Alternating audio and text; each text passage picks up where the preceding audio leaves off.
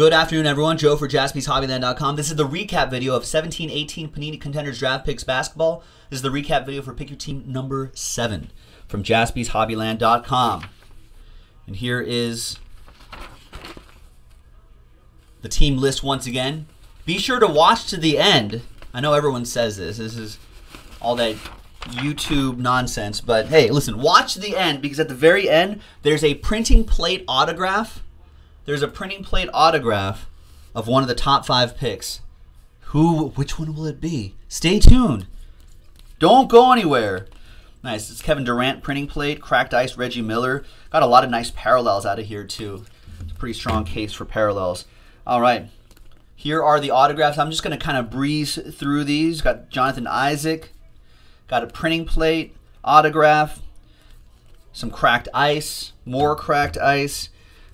We got a nice Brandon Ingram, cracked ice, little Laker Joe Mojo. Got Jarrett Allen. Malik Monk to 23, cracked ice. Charlotte Hornets getting that one and some bacon as well. Nice Zach Collins.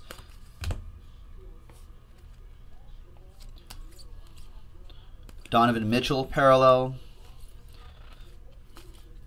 A couple redemptions for the Timberwolves. It's TJ Leaf.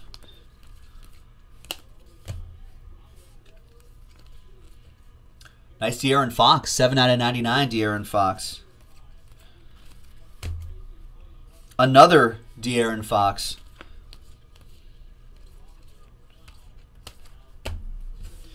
And here it comes.